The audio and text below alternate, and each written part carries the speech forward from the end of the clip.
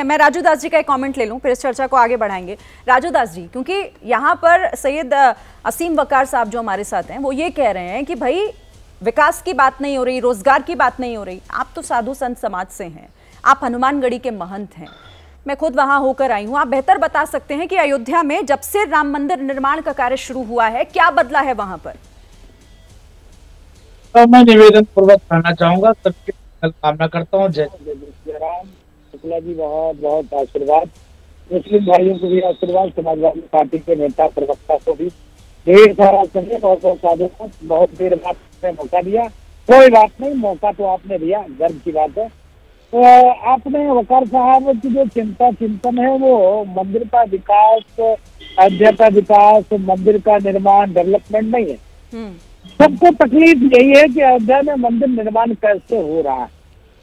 आज वो अपने बात पे सीधे डायरेक्ट आ गए कि देश का हालत खराब हो रहा है। मुझको समझ में ये नहीं आता है। मंदिर का निर्माण हो रहा है। मंदिर के अलावा अयोध्या में आप देखेंगे अगर आप अयोध्या आई थी तो अयोध्या नया घाट से लेकर शहादतगंज तक हम्म, चाहे हिंदू हो चाहे मुसलमान हो चाहे सिख हो चाहे ईसाई हो उनके लिए एक भाव समान व्यवहार और समान तरीके से था आप देखिए योगी और ढेर सारे आरोप लगाते हैं। मतलब आप सकते हैं मंदिरों को उन्होंने तोड़ दिया जो रास्ते में आ रहा था। लेकिन वकार साहब यहाँ बैठकर भाषण जो दे रहे थे मजार कहीं शिफ्ट नहीं होती मैंने नहीं देखा। लेकिन अयोध्या की सारी मजारें सारी मजारें शिफ्ट की गई।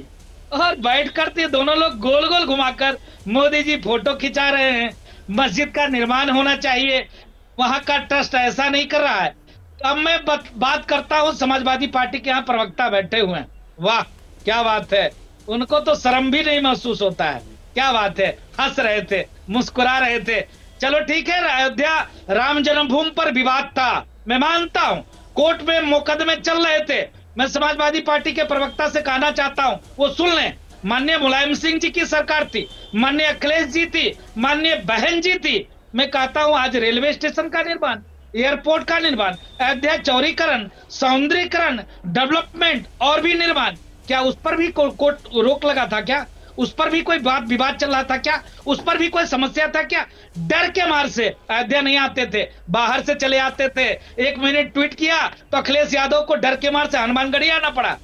एक महीने ट्वीट किया तो अखिलेश यादव को डर के मार से हनुमानगढ़ी आना पड़ा। अभी तक राम जन्मभूमि दर्शन करने के लिए नहीं गए। दोबारा इन्होंने कहा ट्रस्ट बुलाएगा तो ज़रूर आएँगे। मैं निवेदन करता हूँ एक बार अपने अंदर झाँक लीजिएगा कि आपके माननीय गौड साहब ने अयोध्या में निहत्थे राम भक्तों के ऊपर गोली चलाई। सिर्फ़ अयोध्या में मंदिर निर्माण ही नहीं चल रहा है। मंदिर निर्माण के अलावा अयोध्या में किस प्रकार से विकास कार्य चल रहा है ये भी आपको देखना पड़ेगा। ठीक है। आप आशुतोष जी इसका जवाब दीजिए फिर मैं वकार साहब के पास जाऊँगी। नहीं मैं ऐसे लोगों को क्या जवाब दूँ जिनको ना कुछ पता है ना कुछ पता है। और जो ना संत हैं ना वो राजनीतिज्ञ हैं। और मुझे इस तरह की बातों का कोई जवाब देने का मतलब नहीं है।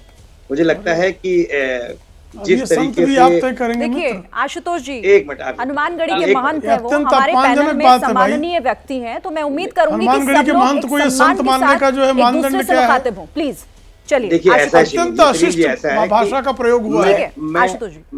अत्यंत अशिष्ट भाषा का प्रयोग हुआ महंत जी के लिए हम सबके है। एक मिनट एक मिनट एक मिनट एक तुम्हारा। मिनट देख लो। एक मिनट मुझे तोड़ दूँगा तुम्हारा अरे नहीं राजू दास जी राजू दास जी प्लीज़ गलत कोई गलत बात नहीं हो रही है कोई गलत बात- नहीं आराम से। ठीक है। जाल में नहीं फंसना है मैं यहाँ पे चलो ठीक है नहीं है इनके इनकी आवाज़ बंद इनकी आवाज़ बंद कीजिए खून के सौदागर खून के सौदागर खून के क्या बात करोगे? खून नदी वाले क्यों उनको टोक दिया आप भी तो कम से कम भाषा का और मर्यादा का ख्याल रखें प्लीज़ आप नेशनल चैनल पर सब लोग बैठे हुए हैं? आराम आराम से बात कीजिएगा प्लीज़ जल्दी से आशुतोष जी अपनी बात पूरी कीजिए। मैं एबीपी न्यूज़ के राष्ट्रीय चैनल में बैठा हूँ वहाँ के जो एंकर हैं उनके सवालों के जवाब देने के लिए बैठा हूँ। मैं किसी साधु संत या किसी प्रवक्ता के जवाब देने के लिए नहीं बैठा हूँ। आशुतोष जी जवाब दीजिए जल्दी से मुझे ब्रेक लेना है मैं अपनी पार्टी की स्थिति साफ़ कर चुका हूँ। हमारे पार्टी के राष्ट्रीय अध्यक्ष ने साफ़ कहा है कि हमको अगर न्याय बुलाएगा तो हम जाएँगे नहीं बुलाएगा तो भी हम जाएँगे। हम्म। इसमें कौन सी भारतीय जनता पार्टी या किसी महान को बुरा लगने वाली बात है?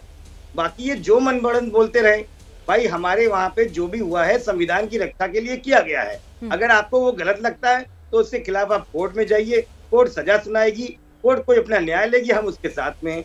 जब हम तब कोर्ट के साथ में थे हम अब कोर्ट के साथ में हैं तो हमें और किसी की ज़रूरत नहीं है। हम्म। हम संविधान में बात रखते हैं हम संविधान के हिसाब से चलने वाली पार्टी हैं। इसलिए हमें किसी की नसीहत की ज़रूरत नहीं है। कोई हमको ना समझाए कि हमको आना है नहीं आना है लेकिन अच्छा उन्होंने ये कहा था। अच्छा उन्होंने ये कहा और ये ये सवाल उठा है पहले भी कि भाई अयोध्या के विकास पर कभी क्यों नहीं ख्याल, वहाँ किसी का ध्यान गया, नहीं उस इस बात का ख्याल रखा गया। इस पर मैं आपसे बात करूँगी, वकार साहब के पास भी आएँगे।